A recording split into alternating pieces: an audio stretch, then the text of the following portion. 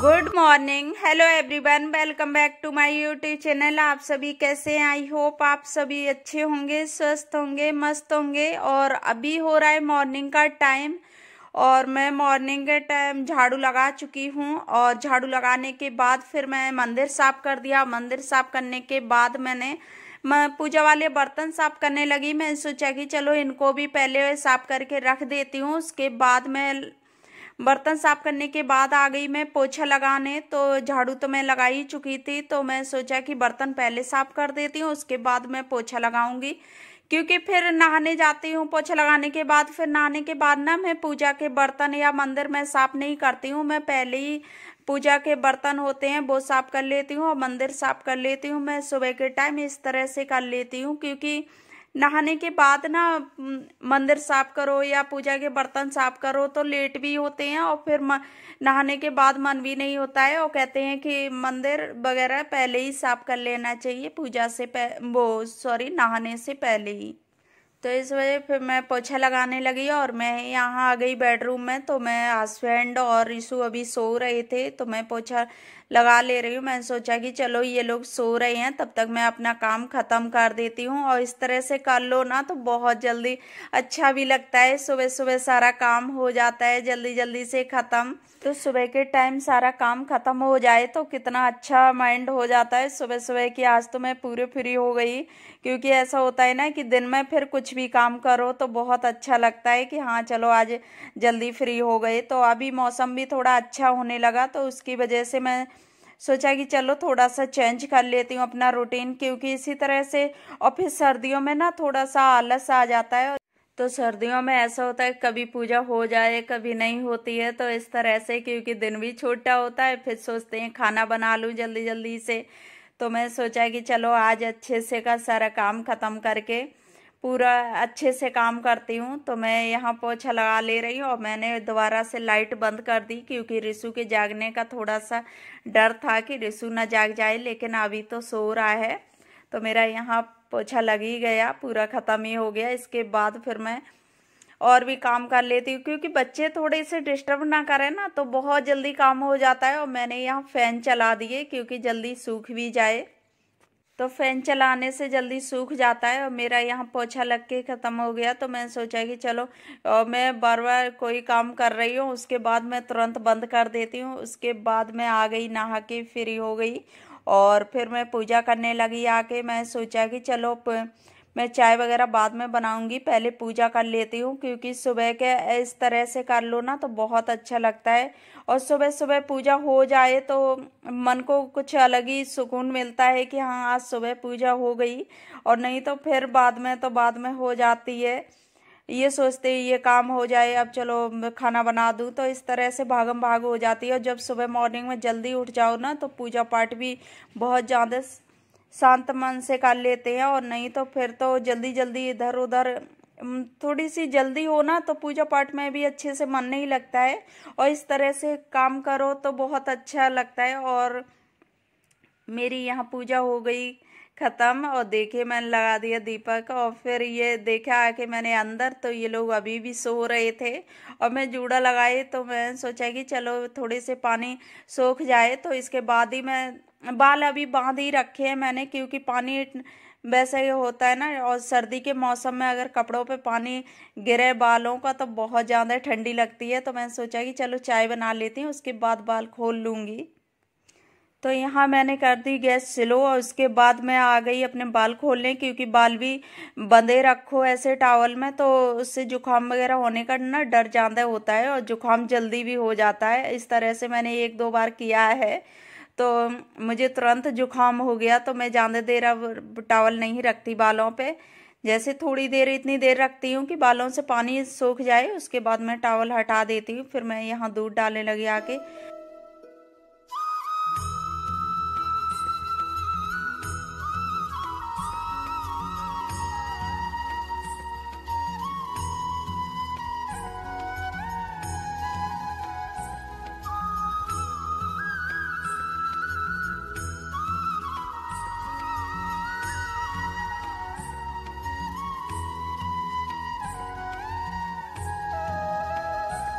तो चाय में दूध डाला और चाय जब तक उबाल आएगा, चाय में इतनी देर में मैं मलाई निकाल देती हूँ क्योंकि सुबह के टाइम ना मलाई थोड़ी सही निकल जाती है। तो फिर मैं सोचती हूँ कि उसके बाद ही मैं गर्म करने रखती हूँ क्योंकि नहीं तो फिर वैसी हो जाती है। तो उसमें बहुत ज़्यादा वैसी लगती है मलाई ऊपर से। तो इस तरह सुबह निकाल दो, फिर आराम से थोड़े बहुत बना रहे तो उसमें कोई फ़र्क नहीं पड़ता है क्योंकि ज़्यादा मन नहीं मालूम पड़ती है। तो मैं इसी तरह से निकाल देती हूँ तो इसके बाद मेरी चाय बन गई तो मैं चाय का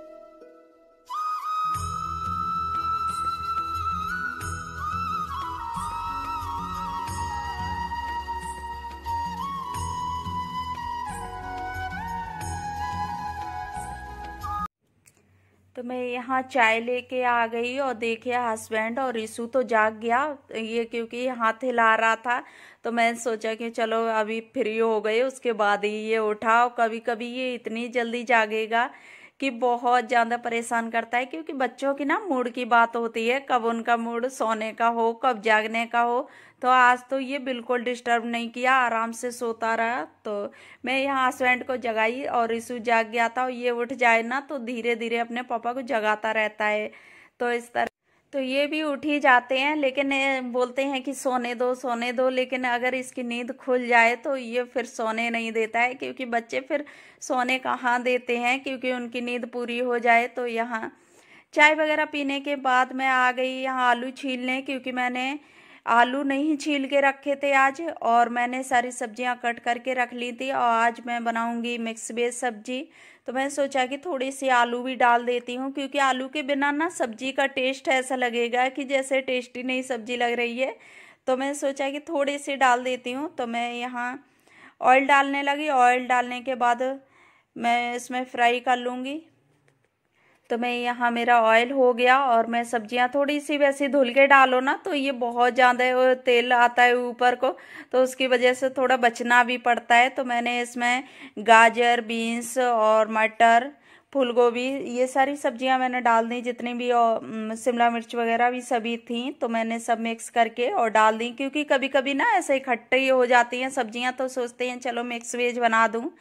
तो टेस्टी भी लगती है और एक गैस पे मैंने दूध रख दिया और मेरी सब्ज़ियाँ जब तक पकेंगी तो फ्राई होंगी। इतनी देर में मैंने और मसाले तैयार कर लिए, प्याज वगैरह कट करके और फिर मैं यहाँ चौंकने लग रही। मैं सोचा कि चलो सब्ज़ी भी बनने रख दूँ और इस तरह से ना, जब जल्दी जाग जाओ तो कितनी ज़्यादा शांति में काम हो जाते हैं और मन भी कितना खुश होता है, क्योंकि सारे काम ना टाइम पे हो जाते हैं तो मन इतना खुश रहता है कि ये टेंशन नहीं होती है कि अब ये करूँ, कि वो करूँ, ऐसे करके नहीं होती है। कोई भी टेंशन और आराम आराम से सारे काम हो जाते हैं। तो मेरा अभी कभी कभी ना उठना नहीं हो पाता है, क्योंकि छोटे बच्चे हों तो वो कभी कभी परेशान कर देते हैं और कभी बहुत अच्छे से सोते रहेंगे कि पूरा काम फ्री कर दो, पता भी नहीं चलेगा। कि कब काम हो गया और जब बच्चे थोड़ा सा बीच में परेशान कर दें तो वही काम ये लगेगा कि कितनी देर से हम कर रहे हैं और ये काम नहीं पूरा होता है ना तो चिड़चिड़ाहट सी भी होने लगती है। और जब काम पूरा हो जाए तो मन खुश हो जाता है तो इस तरह से हो जाता है। अब बच्चे छोटे होते हैं, तब तक यही काम होते हैं। तो हम लोग अकेले रहते हैं तो अकेले में थोड़ी सी प्रॉब्लम हो जाती है। और छोटे बच्चे ना, जब फैमिली में रहते हो तो कोई ज़्यादा प्रॉब्लम नहीं होती है, क्योंकि वो बहुत आराम से खेलते भी रहेंगे सभी के साथ में और पता भी नहीं चलते हैं कि बच्चे कब बड़े हो जाते हैं और जब अकेले फैमिली रह रहे हो ना तो बहुत ज़्यादा मुश्किल हो जाती है बच्चों को संभालने के लिए। तो इसी तरह से लेकिन सब कुछ मैनेज करना पड़ता है। तो मेरी यहाँ सब्ज़ी भी मैंने कर दी चौक दी तो सब्ज़ी भी मैं पकने रख दूँगी और उसके बाद मैं लगा लूँगी आटा। तो मैं यहाँ खाना वगैरह खाने के बाद मैं आ गई बाल बनाने तो मेरे बाल भी सूख गए थे तो मैं सोचा कि चलो बाल बना लेती हूँ, क्योंकि जब तक सूखे ना, तब तक बाल बनाने में सही नहीं रहते ये लगता है कि हाँ सूख, सूखने के बाद ही मैं बनाती हूँ, क्योंकि गीले बाल मैं कभी नहीं बांधती हूँ, क्योंकि बांधने में गीले बाल ना, गीले भी बने रहेंगे और फिर सर्दी के मौसम में सर्दी भी लगती है। तो इस वजह से मैं गीले बाल कभी नहीं बांधती हूँ। अभी मैं लगा रही हूँ सीरम क्योंकि मेरे बाल थोड़े ना ड्राई हो गए हैं। सर्दियों के टाइम कैप वगैरह लगाए रहते हैं। तो उसकी वजह से ड्राई हो जाते हैं। तो मैं यहाँ सीरम यूज़ करती हूँ। तो और सीरम लगाने के बाद क्योंकि सीरम के बिना मेरे बाल वैसे होते ही नहीं हैं। थोड़ी सी ऑयली नहीं लगेंगे ऐसे लगेंगे कितने ड्राई हैं। और इसी तरह से क्योंकि सर्दियों सर्दियाँ हो या गर्मी हो मेरे दोनों ही में ड्राई रहते हैं बाल और सीरम कंडीशनर के बिना मेरे बाल ऐसे झाड़ू जैसे हो जाएँगे। और ये देखिए, अभी भी कितने ख़राब से लग रहे हैं तो इस तरह से हो जाते हैं। और फिर गर्मियों में ये होता है ना, कुछ भी लगा लो और सर्दियों में कोई चीज़ लगाने का मन भी नहीं करता है तो उसकी वजह से और ज़्यादा ड्राई हो जाते हैं। तो इतना ज़्यादा कंडीशनर, सीरम यूज़ करती हूँ, लेकिन फिर भी ड्राई रहते हैं, पर तो किसी किसी के बाल होते हैं ना इतने ड्राई क्योंकि और किसी किसी के बाल इतने सिल्की होते हैं कि वो लोग कुछ भी नहीं लगाएँ, तब भी सिल्की रहेंगे। तो वो चीज़ें होती हैं। और मेरे यहाँ मैं सीरम और उसके कंडीशनर के बिना रह ही नहीं पाती, लेकिन फिर भी ड्राई रहेंगे बाल। तो इस तरह से हो जाते हैं। तो फिर मैं आ गई किचन में। किचन में मैं यहाँ सारा सा किचन करने लगी, सामान पूरा इकट्ठा। मैं सोचा कि चलो इसे भी साफ़ कर देती हूँ। उसके बाद मैं रिसु को ले जाऊँगी घुमाने बाहर, क्योंकि बच्चों को बाहर भी घुमाना बहुत ज़रूरी होता है। तो मैंने सोचा कि चलो पहले किचन साफ़ कर देते हैं, उसके बाद बाहर घुमाते हैं। क्योंकि फिर बाद में जब आओ ना घर घर वापस बाहर से तो फिर बहुत गंदा लगता है। तो इसकी वजह से मैं बर्तन वगैरह पूरी किचन साफ़ करके ही बाहर जाती हूँ और जब भी फ्री हो जाऊँगी तब निकलूँगी।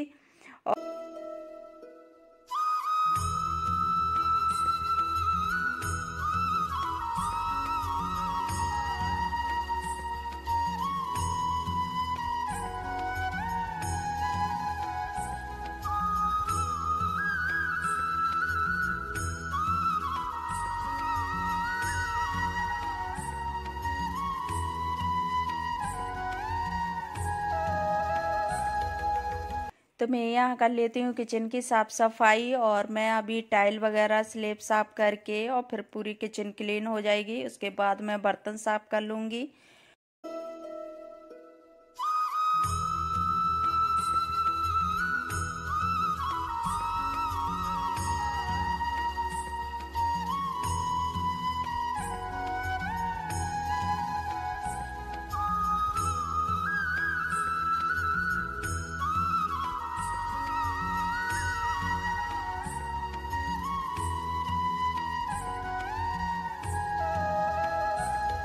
तो मैं बर्तन साफ़ करने के बाद आ गई तो ब्लैंकेट खुला हुआ पड़ा था।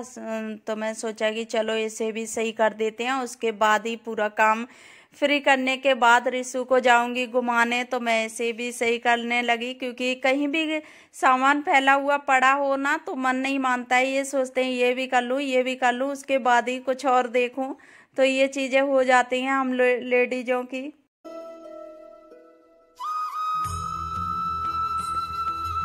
तो फ्रेंड्स, मैं कर रही हूँ अपने वीडियो का यही एंड आई होप आप लोगों को वीडियो अच्छी लगी हो तो वीडियो को लाइक करना शेयर करना और चैनल पर नए आई हो तो चैनल को सब्सक्राइब कर लेना. तो मिलती हूँ इसी के साथ नेक्स्ट वीडियो में. तब तक के लिए bye bye and take care